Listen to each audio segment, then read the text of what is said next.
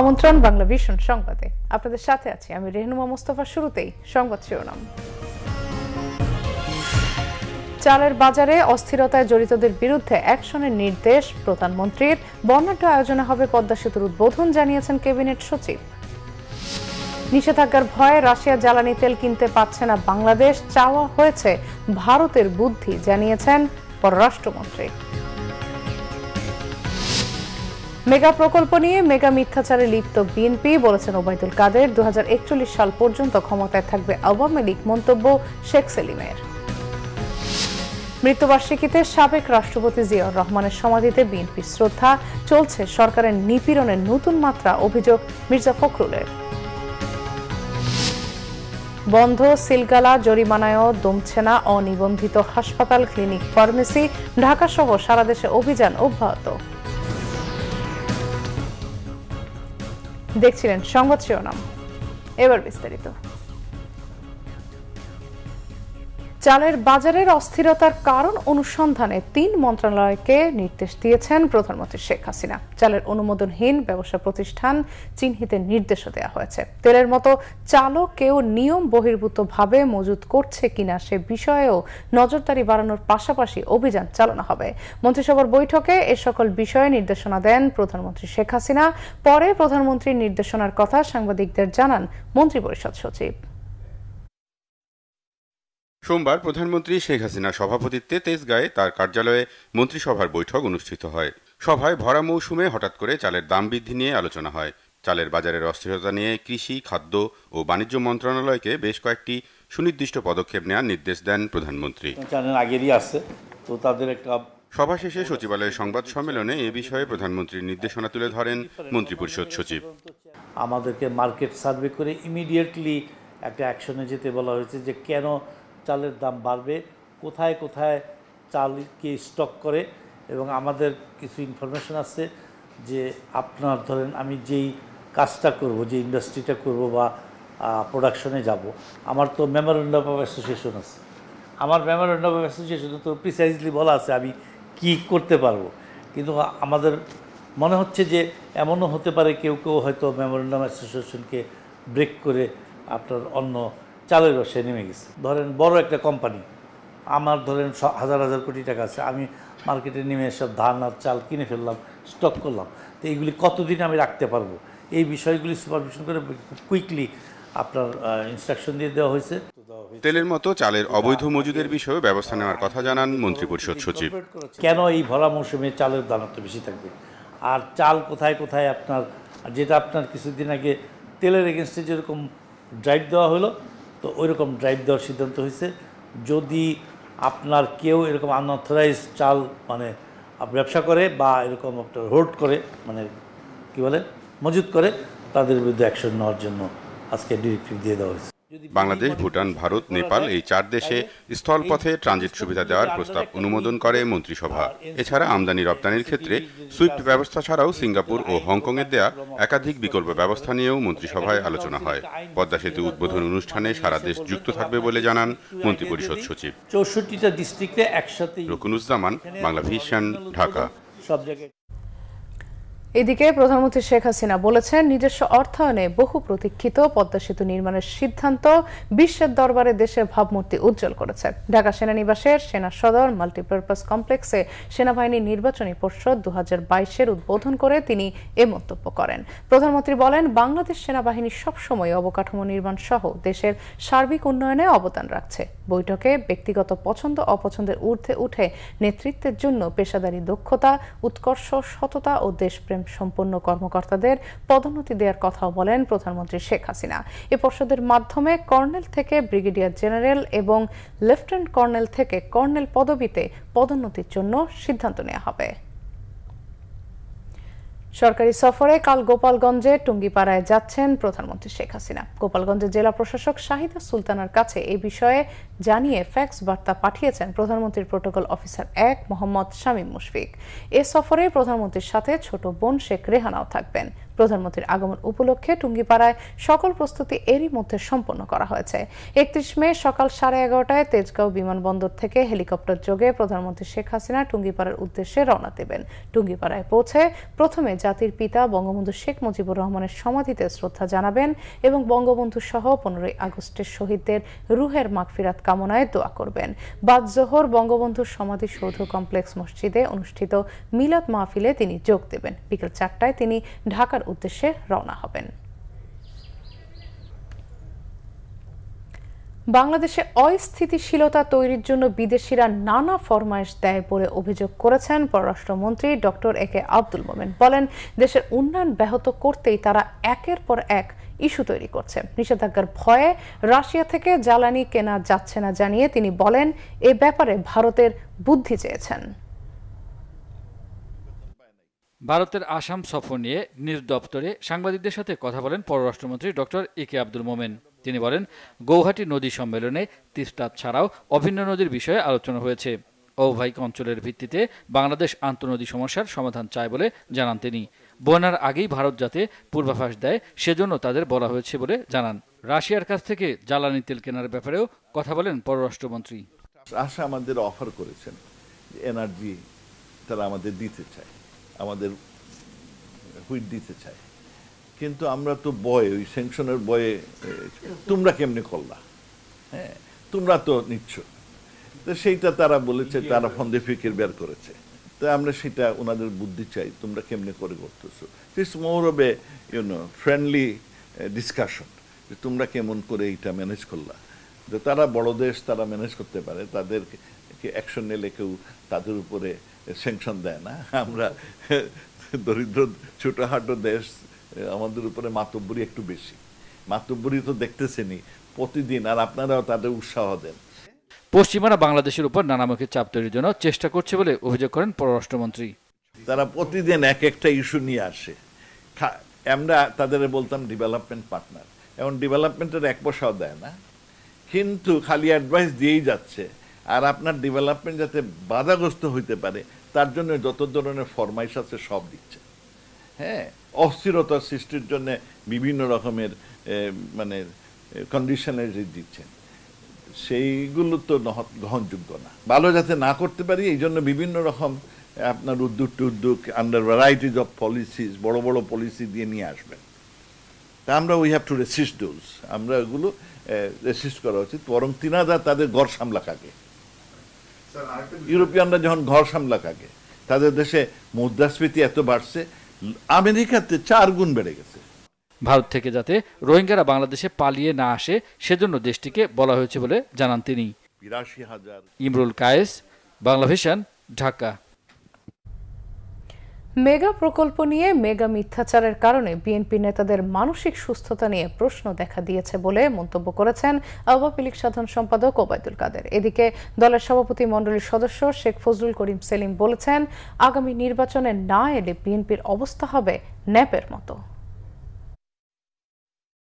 বাসভবনে ব্রিফিংয়ে আওয়ামী লীগ সাধারণ সম্পাদক ওবায়দুল কাদের বলেন, জনগণ বুঝে গেছে ঈর্ষান্বিত বিএনপি নিজের নাক কেটে পরের যাত্রা ভঙ্গ করতেও দ্বিধা করে না। পাচার করা অর্থ ফেরত আনার কথায় বিএনপি নেতাদের গায়ে জ্বালা কেন সেই প্রশ্ন রাখেন তিনি। লুটপাটে সিদ্ধহস্ত বিএনপি জনসাধারণের সুবিধা বিবেচনা না করে শুধু টাকার গন্ধ খুঁজে বেড়ায় বলেও মন্তব্য করেন ওবায়দুল কাদের। মেগা প্রকল্পের বাস্তবায়ন তো দূরে থাক স্বপ্ন যারা দেখতে পায় না, সেই বিএনপি যখন মেগাল প্রকল্প নিয়ে মেগা মিথ্যাচার করে। দেশবাসী তখন মনে করে বিএনপি নেতৃবৃন্দের মানসিক সুস্থতা নিয়ে।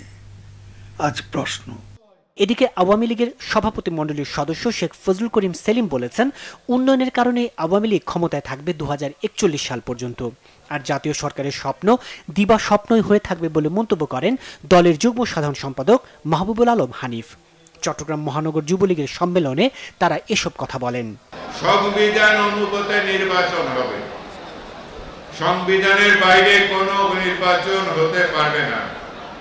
আগামী নির্বাচন গণতান্ত্রিক পদ্ধতিতে হবে অন্যান্য গণতান্ত্রিক দেশে, যেমন Bharat, London, Australia, America, Canada, যেভাবে নির্বাচন হয় বাংলাদেশে সেইভাবে নেই তারা জানে জনগণের ভোটে নির্বাচিত হয়ে কখনো তারা ওই মন্ত্রী বা উপদেষ্টা হতে পারবে না। এই জন্য তাদের এখন ফর্মুলা দিচ্ছেন জাতীয় সরকার বা তত্ত্বাবধায়ক সরকারি ধরনের। আমরা পরিষ্কারভাবে জানাতে চাই জয়ন্তী শেখ হাসিনার নেতৃত্বেই সংবিধানের অনুযায়ী নির্বাচন হবে। যে কোনো ষড়যন্ত্র মোকাবেলায় দলীয় নেতাকর্মীদের ঐক্যবদ্ধ থাকার আহ্বানও জানান আওয়ামী লীগ নেতারা। তাইমুর রশিদ, বাংলা ভিশন, ঢাকা। বাংলাদেশ জাতীয়তাবাদী দল বিএনপির প্রতিষ্ঠাতা সাবেক রাষ্ট্রপতি জিয়াউর রহমানের একচল্লিশতম মৃত্যুবার্ষিকী আজ। উনিশশো একাশি সালের এই দিনে এক ব্যর্থ সেনা অভ্যুত্থানে চট্টগ্রাম সার্কিট হাউসে মর্মান্তিক মৃত্যু হয় তার মৃত্যুবার্ষিকীতে। দলের প্রতিষ্ঠাতার মাজারে শ্রদ্ধা জানান বিএনপির কেন্দ্রীয় নেতারা। পরে বিএনপি মহাসচিব মির্জা ফখরুল ইসলাম আলমগীর বলেন, গণতন্ত্র, পুনঃপ্রতিষ্ঠা, খাদ্যের স্বয়ংসম্পন্নতা অর্জন এবং বিদেশে জনশক্তি পাঠানোর পথ সুগম করে দেশের অর্থনীতিকে সমৃদ্ধ করার জন্য দেশের মানুষ আজীবন জিয়াউর রহমানকে স্মরণ করবে। নির্বাচন এগিয়ে আসায় সরকার ক্ষমতায় টিকে থাকতে দেশে ত্রাসের রাজত্ব কায়েম করেছে বলেও অভিযোগ করেন বিএনপি মহাসচিব। দলের প্রতিষ্ঠাতা ও সাবেক রাষ্ট্রপতি জিয়াউর রহমানের একচল্লিশতম মৃত্যুবার্ষিকী উপলক্ষে দলের জ্যেষ্ঠ নেতাদের নিয়ে শেরেবাংলা নগরে তার মাজারে ফুলেল শ্রদ্ধা জানান বিএনপির মহাসচিব মির্জা ফখরুল ইসলাম আলমগীর। এ সময় জিয়াউর রহমানের আত্মার মাগফেরাত এবং দেশ ও জাতির সমৃদ্ধি কামনায় মোনাজাত করা হয়। পরে সাংবাদিকদের বিএনপির মহাসচিব বলেন জিয়াউর রহমান উনিশশো পঁচাত্তর সালের সিপাহী জনতার বিপ্লবের মধ্য দিয়ে হারিয়ে যাওয়া গণতন্ত্র ফিরিয়ে দিয়েছিলেন এবং একদলীয় শাসনের বদলে বহুদলীয় গণতন্ত্র উপহার দিয়েছিলেন। একই সাথে খাদ্যে স্বয়ংসম্পূর্ণতা গার্মেন্টস সহ শিল্পের বিকাশ, বিদেশে জনশক্তি রপ্তানি সহ আধুনিক বাংলাদেশ বিনির্মাণে যে কাজ করে গেছেন, সেজন্য জনগণ আজীবন জিয়াউর রহমানকে শ্রদ্ধার সাথে স্মরণ করবে। আজকে এখানে শপথ নিয়েছি। কোনো ভয়, ভীতি আমাদেরকে দমন করতে পারবে না। বাংলাদেশকে, মানুষকে কোনোদিন দমন করতে পারেনি। আমরা সব কিছুকে মোকাবেলা করে আমরা এই দেশের জনগণকে সঙ্গে নিয়ে গণতান্ত্রিক উপায়ে আমরা অবশ্যই এই ভয়াবহ যে একটা সরকার, ফ্যাসিস্ট সরকার যারা আজকে একটা পাথরের মতো চেপে বসে আছে, তাদেরকে সরিয়ে একটা নিরপেক্ষ নির্বাচনের মাধ্যমে নিরপেক্ষ সরকারের হাতে ক্ষমতা হস্তান্তর করে আমরা জনগণের পার্লামেন্ট এখানে প্রতিষ্ঠিত করতে সক্ষম হব। বিএনপির আন্দোলন দমাতে সরকার নির্যাতন নিপীড়ন চালিয়ে যাচ্ছে বলে অভিযোগ করেন মির্জা ফখরুল। এই বর্তমান অনির্বাচিত অবৈধ আওয়ামী লীগের সরকার নির্যাতন হত্যা গুম খুনের মধ্য দিয়ে ত্রাস সৃষ্টি করে ক্ষমতায় টিকে থাকতে চাইছে।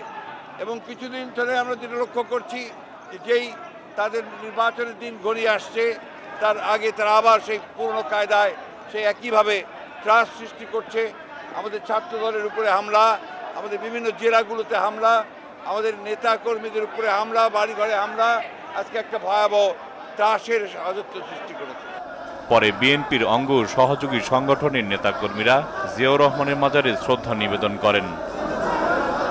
জাহাঙ্গীর আকন্দ বাংলা ঢাকা। সাবেক রাষ্ট্রপতি জিয়াউর রহমানের শাহাদাত বার্ষিকী উপলক্ষে রাজধানীর বিভিন্ন স্থানে দরিদ্র মানুষের মাঝে খাদ্য ও ত্রাণ সামগ্রী বিতরণ করেছেন বিএনপি নেতারা। তারা বলেন, আওয়ামী লীগ যেখানে ব্যর্থ, জিয়াউর রহমান সেখানে সফল। এজন্যই জিয়া নামটিতেই ক্ষমতাসীনদের এত ভীতি বলে মন্তব্য করেন বিএনপি নেতারা। জিয়াউর রহমানের শাহাদাত বার্ষিকী উপলক্ষে রাজধানীর ধানমন্ডি, শাহবাগ, পল্টন, শাহজাহানপুর, বংশাল, কোতোয়ালি, যাত্রাবাড়ি, শ্যামপুর, কদমতলা, মতিঝিল, সবুজবাগ মুক্তা এবং খিলগাঁও এলাকায় দরিদ্র মানুষের মাঝে খাদ্য ও ত্রাণ বিতরণ করা হয়। বিএনপি মহাসচিব মির্জা ফখরুল ইসলাম আলমগীর সহ দলটির কেন্দ্রীয় নেতারা এসব কর্মসূচিতে যোগ দেন। হামলা, মামলা, নির্যাতন বন্ধ করে গ্রহণযোগ্য নির্বাচনের দাবি জানান বিরোধী নেতারা। তারা বলেন, মানুষের ভোটাধিকার প্রতিষ্ঠার সংগ্রামে কাজ করছে বিএনপি, রাজনৈতিক স্থিতিশীল পরিবেশ তৈরির দাবিও জানান বিএনপি নেতারা। এদিকে গোপীবাগে ওয়ারি থানা বিএনপি আয়োজিত দোয়া অনুষ্ঠানে বিএনপির স্থায়ী কমিটির সদস্য নজরুল ইসলাম খান বলেন, বৈদেশিক কর্মসংস্থান, গার্মেন্টস খাত, জুট মিল ও চিনিকল স্থাপন সহ বাংলাদেশের অর্থনীতির ভিত করেছিলেন জিয়াউর রহমান। দেশের মানুষের অক্লান্ত পরিশ্রমে অর্থনীতি মজবুত হলেও আওয়ামী লীগের লোকজন সেই টাকা বিদেশে পাচার করছে। ঢাকা মহানগর দক্ষিণ বিএনপির সদস্য সচিব রফিকুল আলম মজনু, বিএনপি নেতা ইঞ্জিনিয়ার ইশরাক হোসেন সহ মহানগর থানা ও ওয়ার্ড বিএনপির নেতারা দোয়া অনুষ্ঠানে উপস্থিত ছিলেন। তা আজকে যারা উন্নয়নের বড়াই করেন, তারা তো এই গার্মেন্টস দিয়ে বড়াই করেন, তারা তো রেমিটেন্স দিয়ে বড়াই করেন, তারা তো এই কৃষি দিয়ে বড়াই করেন। এই বড়াই করার আগে অজু করে শহীদ জিয়ার নাম উচ্চারণ করা উচিত কিনা? কিন্তু তারা না করে তার বীর উত্তম খেতাব বাতিল করতে চায়, তার কবর সরায় দিতে চায়, সব জায়গা থেকে তার নাম মুছে বেরতে চায়। কেন? কারণ জিয়ার নামটাকে তারা ভয় পায়। অনিবন্ধিত বেসরকারি ক্লিনিক ডায়াগনস্টিক সেন্টার ও ফার্মেসিতে অভিযান অব্যাহত রেখেছে জাতীয় ভোক্তা অধিকার সংরক্ষণ অধিদপ্তর। মেয়াদোত্তীর্ণ ইনজেকশন ওষুধ ও কেমিক্যাল পাওয়ায় অভিযুক্ত প্রতিষ্ঠানগুলোকে অর্থদণ্ড দেওয়া হয়েছে। মোহাম্মদপুর ও গোরান এলাকায় চলে এই অভিযান। রাজধানীর বাইরেও চালানো হয়েছে অভিযান। সোমবার সকালে মোহাম্মদপুর এলাকায় বেসরকারি হাসপাতাল ও ডায়াগনস্টিক সেন্টারে অভিযান শুরু করে জাতীয় ভোক্তা অধিকার সংরক্ষণ অধিদপ্তরের ভ্রাম্যমাণ আদালত। এই এলাকার পাঁচটি হাসপাতাল ও ডায়াগনস্টিক সেন্টারে অভিযান চালানো হয়। যখন আপনি লাইসেন্সটা বেসরকারি এসব প্রতিষ্ঠানের বৈধ লাইসেন্স ও মেয়াদ, ওষুধের মেয়াদ, চিকিৎসা ব্যবস্থা সহ নানা বিষয় পর্যবেক্ষণ করা হয়। এ সময় বৈধ লাইসেন্স দেখাতে পারলেও মেয়াদোত্তীর্ণ ওষুধ ইনজেকশন রাখা সহ নানা অনিয়মের কারণে তিনটি প্রতিষ্ঠানকে পঞ্চাশ হাজার টাকা করে জরিমানা করা হয়। অভিযুক্ত প্রতিষ্ঠানের মালিক ও কর্মকর্তারা নিজেদের ভুলের কথা স্বীকার করেন। এখানে একটা ঔষধের একটা রিয়েজেন্টের যেটা দিয়ে ই ওয়াশ করানো হয় ওইটার খামের উপরে ডেটটা ই ছিল এটি আমাদের একটাই পেয়েছেন অনেকগুলোর ভিতর একটা। মানে ওটা তো বেশি দিন হয় না এই জানুয়ারি মানে কয়েকদিন মানে বাদ দিয়ে রাখতে না বেশি দিন মনে হয় ঠিক আছে কিন্তু আমরা একদিন মানে একদিন। আমরা তো আমাদের অপরাধ স্বীকার করছি। চার পাঁচ মাস আগে মেয়াদোত্তীর্ণ ইঞ্জেকশন যদি আপনি এখানে থাকে সংরক্ষণ করেন এটা কিন্তু রোগীর আর পরীক্ষা করার সুযোগ নেই।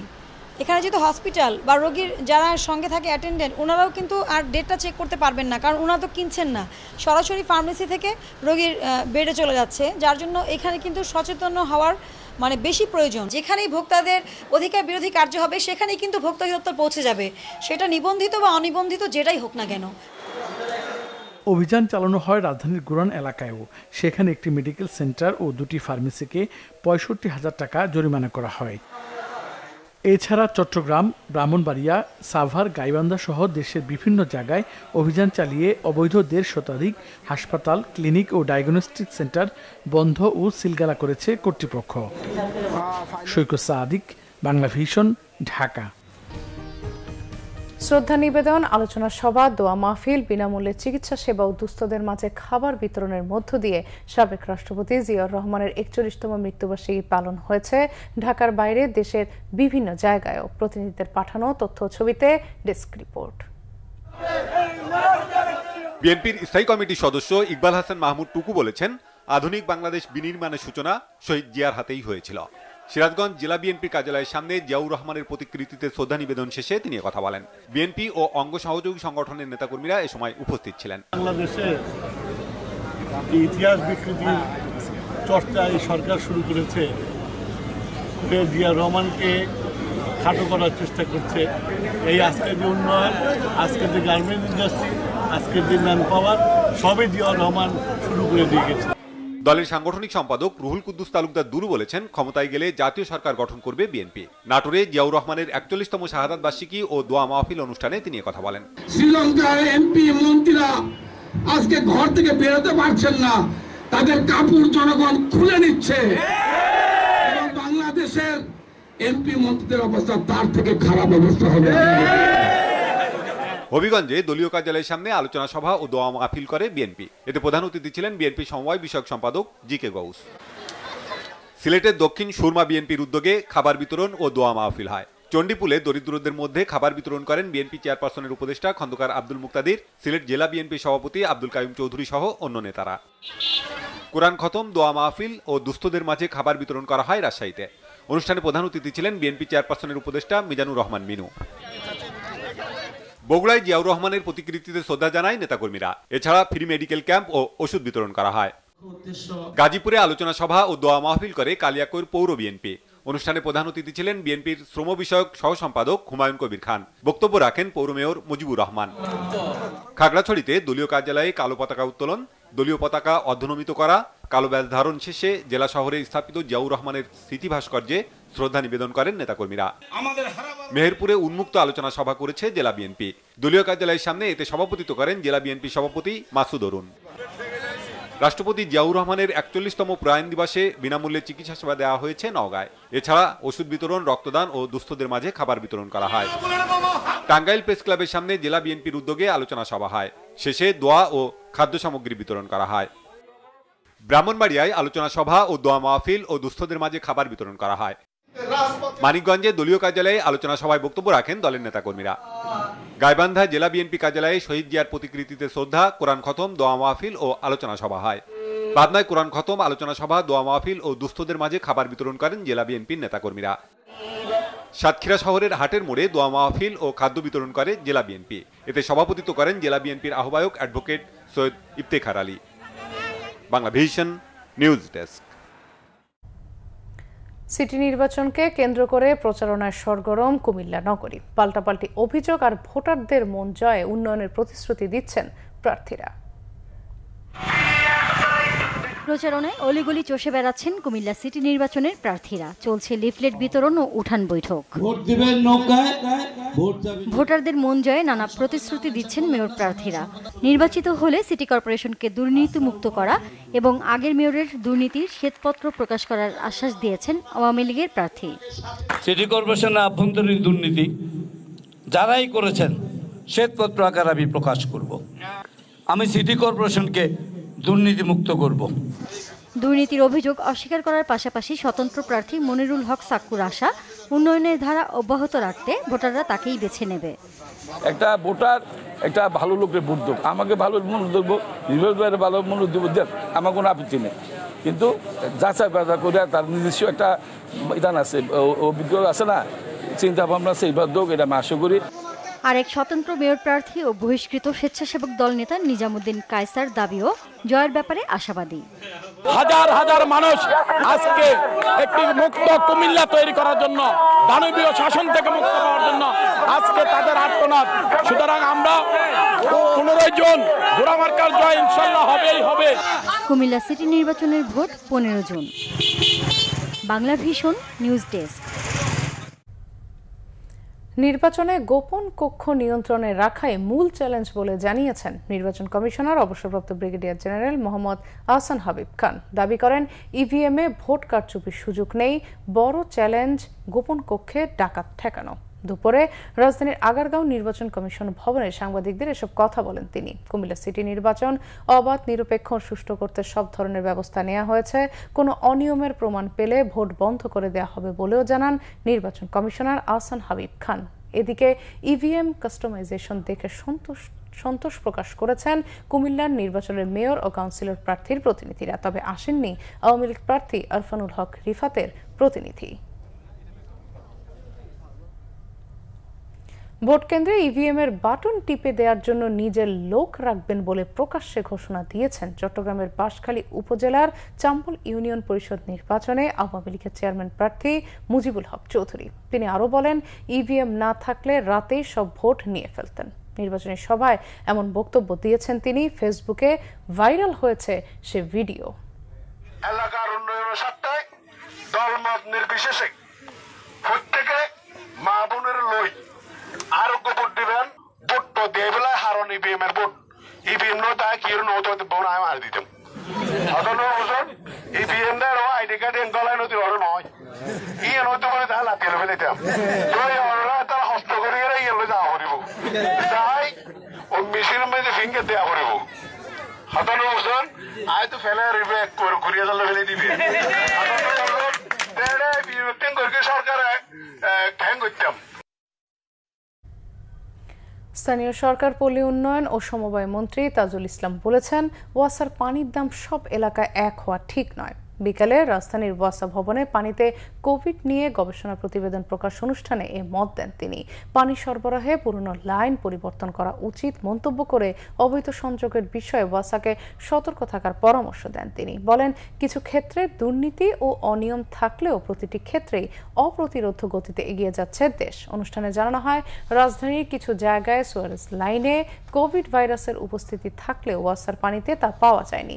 অনুষ্ঠানে বক্তব্য দেন ঢাকা ওয়াসার ব্যবস্থাপনা পরিচালক তাকসিম খান। সরকার টাকা দিবে। কিছু হইলে বলতে সরকার দিবে। সরকার টাকাটা দেয় কোথেকে সরকার তো আমার থেকে আপনার থেকে দেয়। এই মাইক্রোস্কোপিক আকারে যদি টাকাটা নেয়, তাহলে আপনি যাত্রাবাড়ির মানুষকে কম দামে খাওয়ান। আপনি সাবসিডি দেন, কোথায় কোথায় দেবেন? গ্রামে দেন। আপনি ওই বস্তি এলাকা দেন, ওই টঙ্গিতে দেন। এবং আই এম ফরচুনেট পার্সন এখন আমি অনেক ইন্ডাস্ট্রিয়ালিস্ট বড় লোক মানুষ। আমার বহুত ইনকাম আছে। মাসে লক্ষ লক্ষ কোটি কোটি টাকার ইনকাম আছে।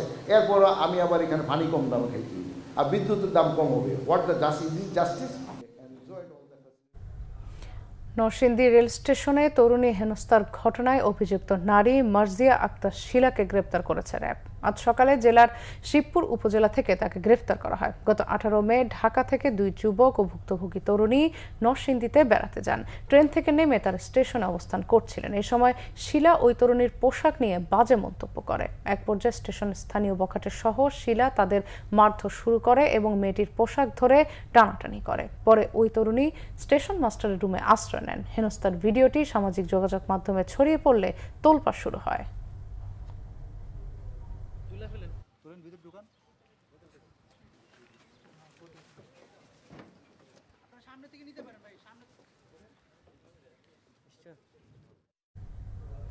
বেসরকারি বিশ্ববিদ্যালয় আইন অনুযায়ী দেশের একশো পাঁচটি বেসরকারি বিশ্ববিদ্যালয়ে দু হাজার দশ সাল থেকে এখন পর্যন্ত কতজন বীর মুক্তিযোদ্ধার সন্তান, দরিদ্র ও সুবিধা বঞ্চিত শিক্ষার্থীকে বিনা বেতনে পড়ার সুযোগ দেওয়া হয়েছে তা জানতে চেয়েছে হাইকোর্ট। সোমবার বিচারপতি মোহাম্মদ মুজিবুর রহমান মিয়া ও বিচারপতি খিজির হায়াতের হাইকোর্ট বেঞ্চ রুল সহ এ আদেশ দেয়।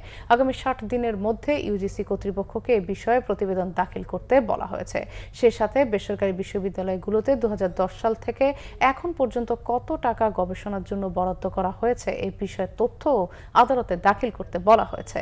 আগামী চোদ্দ আগস্ট এ মামলার পরবর্তী শুনানির দিন ধার্য করা হয়েছে। কনজুমার অ্যাসোসিয়েশনের পক্ষে স্থপতি মুবাশের হোসেন এই রিট দায়ের করেন। রিটের পক্ষে শুনানি করেন ব্যারিস্টার জ্যোতির্ময় বড়ুয়া। তিনি জানান, কনজুমার অ্যাসোসিয়েশনের অনুসন্ধানে উঠে এসেছে যে দু হাজার দশ সাল থেকে এখনও পর্যন্ত কোনো প্রাইভেট বিশ্ববিদ্যালয়ে গরিব মেধাবী শিক্ষার্থীদের ভর্তি কোটা ও গবেষণার কাজে টাকা বরাদ্দ করেনি। সুপ্রিম কোর্ট আইনজীবী সমিতির সম্পাদক পদ নিয়ে আওয়ামী লীগ ও বিএনপি সমর্থিত আইনজীবীদের মধ্যে হাতাহাতির ঘটনায় চারজনকে ছয় সপ্তাহের জামিন দিয়েছে হাইকোর্ট। সোমবার জামিন সংক্রান্ত আবেদনের শুনানি নিয়ে হাইকোর্টের বিচারপতি জাহাঙ্গীর হোসেন ও বিচারপতি এস এম মুজিবুর রহমানের সমন্বয়ে গঠিত বেঞ্চ এই আদেশ দেন। সেই সাথে মামলার অপর দুই আসামিকে ছয় সপ্তাহের মধ্যে বিচারিক আদালতে আত্মসমর্পণের নির্দেশ দেওয়া হয়েছে। জামিন পাওয়া আইনজীবীরা হলেন জাতীয়তাবাদী আইনজীবী ফোরামের সুপ্রিম কোর্ট শাখার সাধারণ সম্পাদক advocate Gazi Mohammad Kamrul Islam Sajal, advocate Rasel Ahmed, advocate Kamrul Islam এবং অ্যাডভোকেট সাগর হোসেন। আঠারো মে সুপ্রিম কোর্ট আইনজীবী সমিতির সম্পাদক পদ নিয়ে আওয়ামী লীগ ও বিএনপি সমর্থিত আইনজীবীদের মধ্যে হাতাহাতি হয়। সুপ্রিম কোর্ট বারের প্রশাসনিক কর্মকর্তা মোহাম্মদ রবিউল হাসান এই ঘটনায় ওই ছয় আইনজীবীর বিরুদ্ধে শাহবাগ থানায় মামলা করেন। বন্যায় ফসলের ব্যাপক ক্ষতিতে দিশেহারা সুনামগঞ্জের বড় চাষিরা।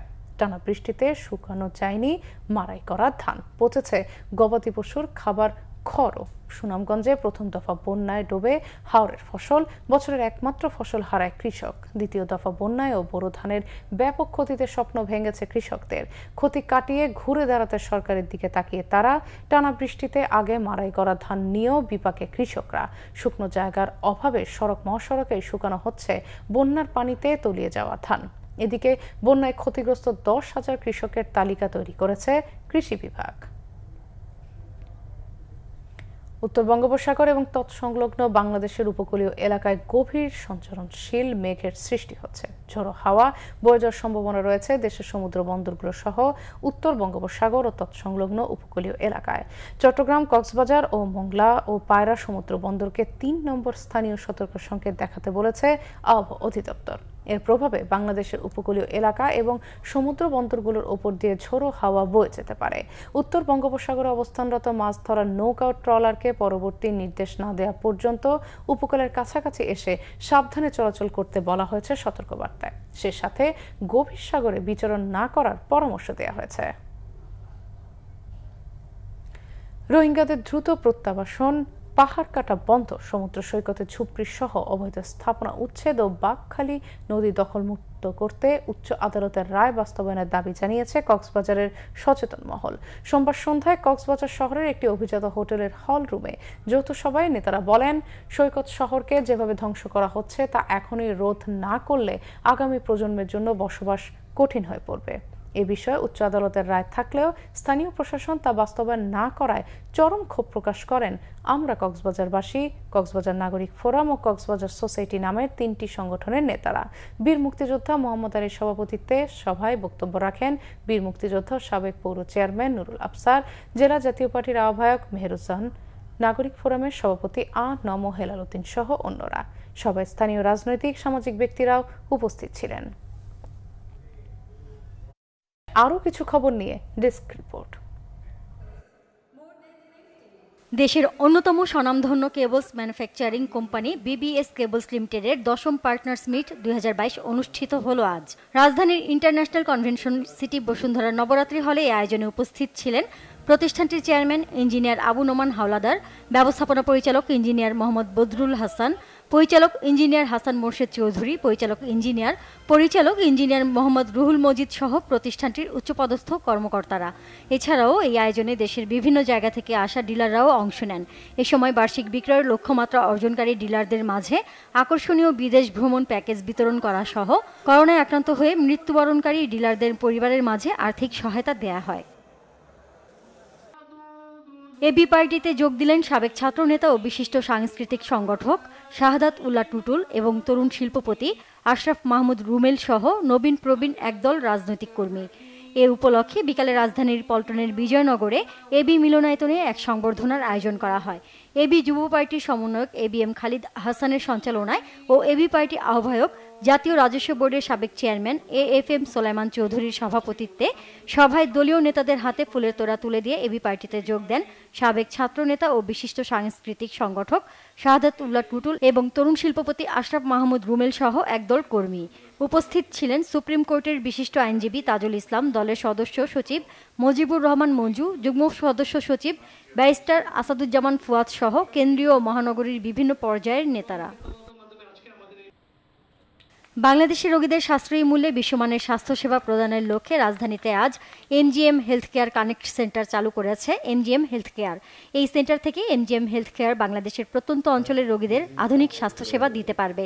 এর উদ্বোধন করেন প্রতিষ্ঠানটির ডিরেক্টর ডাক্তার প্রশান্ত রাজা গোপাল উপস্থিত ছিলেন প্রতিষ্ঠানটির ডিরেক্টর এবং group head institute of neurosciences and spinal disorder doctor শ্রীধরকে, senior consultant এবং head ENT head and neck surgery doctor Sanjeev Mohanty সহ প্রতিষ্ঠানের ঊর্ধ্বতন কর্মকর্তারা।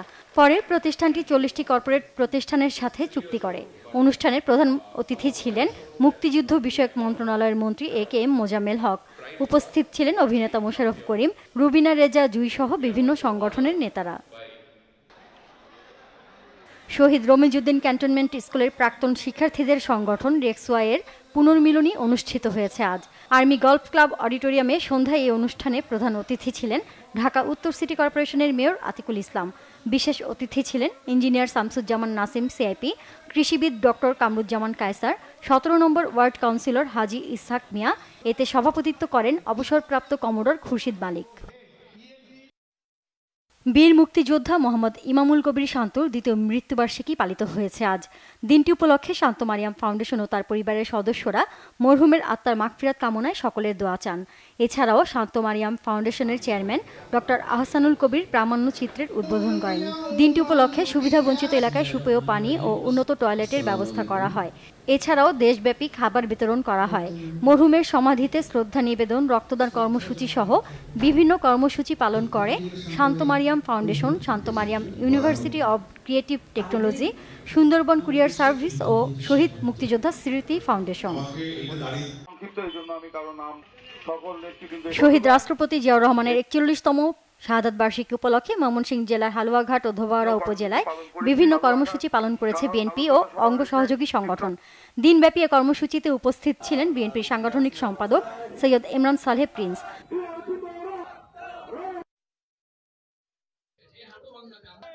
এদিকে শহীদ রাষ্ট্রপতি জিয়াউর রহমানের একচল্লিশতম শাহাদাত বার্ষিকী উপলক্ষে রায়পুরায় আলোচনা দোয়া ও গণভোজের আয়োজন করা হয়।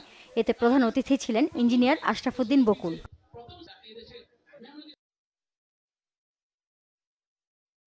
শহীদ রাষ্ট্রপতি জিয়াউর রহমানের একচল্লিশতম শাহাদাত বার্ষিকী উপলক্ষে মিলাদ দোয়া মাহফিল অনুষ্ঠিত হয়েছে সাভারে। ঢাকা জেলা উত্তর ছাত্রদল আয়োজিত এই অনুষ্ঠানে মাদ্রাসার এতিম ছাত্রদের মাঝে রান্না করা খাবার বিতরণ করা হয়।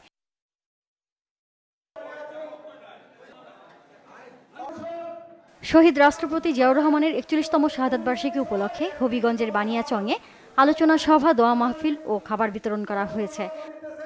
Bangla Vision news desk. এবার কেমন খেলার সংবাদ।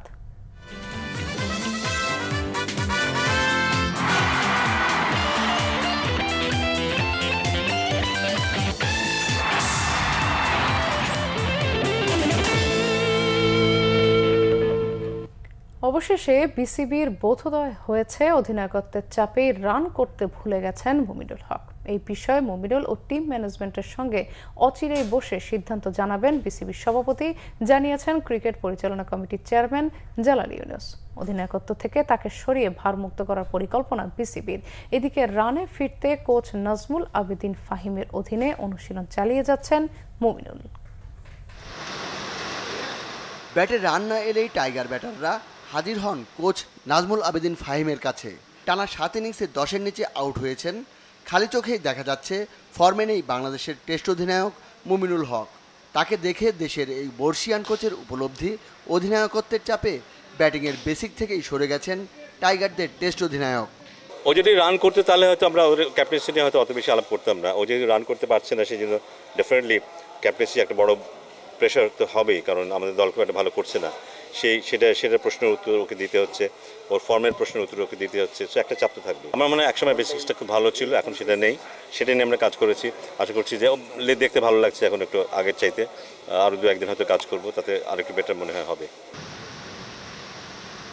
মুমিনুল ফর্মে নেই এমনটা এতদিন মানতে রাজি ছিল না টিম ম্যানেজমেন্ট বা বিসিবি শ্রীলঙ্কা সিরিজের ব্যর্থতা তাদের নতুন করে ভাবাচ্ছে। ব্যাটিং করার সময় সেও যখন রান করতে পারছে না সে বুঝতে পারছে যে ক্যাপ্টেন হয়ে আরও কারোর সাথে যে বলবে আরও তার পরামর্শ দিতে চাইবে, সেই জায়গাটা হয়তো সে মনে করছে যে একটু ইনফিরিটিতে একটু তার সমস্যা হচ্ছে। একটু কমপ্লেক্স থাকতে পারে তার যেহেতু নিজে রান করতে পারছে না। এই তো এই কমপ্লেক্স থেকে সে যখন পারছে না, চাপটা বেশি হয়ে যাচ্ছে। ব্যাটিংয়েরও এটা প্রভাব পড়তে পারে। তো আমার মনে হয় যে মেবি হি মাইট ডিসাইড যে তার কোনটা হলে বেটার হয়। তো এইটা নিয়েই আলাপ করার কথা আছে ম্যানেজমেন্টের সাথে, আমাদের সাথে বসার কথা আছে। প্রেসিডেন্ট সাহেব আসুক তাহলে এটা নিয়ে আলাপ করবে। বোর্ড প্রধানের সঙ্গে বৈঠকের পরই জানা যাবে মুমিনুল হকের টেস্ট অধিনায়কত্বের ভবিষ্যৎ। মনির হোসেন খান বাংলা ভিশন ঢাকা। সংবাদ শেষ করব শিরোনামগুলো আরেকবার জানিয়ে। চালের বাজারে অস্থিরতায় জড়িতদের বিরুদ্ধে অ্যাকশনের নির্দেশ প্রধানমন্ত্রীর। বর্ণাঢ্য আয়োজনে হবে পদ্মা সেতুর উদ্বোধন জানিয়েছেন ক্যাবিনেট সচিব।